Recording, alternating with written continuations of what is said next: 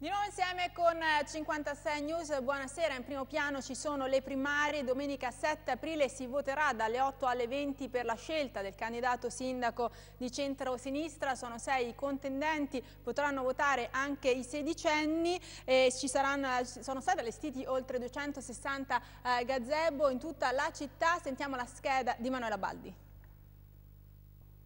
Ultime ore dunque di campagna elettorale per i sei candidati. Manuela Baglia ha seguito per noi l'europarlamentare Davide Sassoli, eh, prima al centro anziani Capasso in zona Bravetta, poi nello storico mercato di piazza San Giovanni di Dio. Vediamo. Tra pochi minuti vi proporremo l'altro uh, servizio sull'altro candidato Ignazio Marino che ha da poco terminato un incontro con i cittadini, ma intanto vediamo con Irene Bartolomeo che cosa sanno i romani di queste primarie del centro-sinistra e soprattutto qual è il loro orientamento. Vediamo.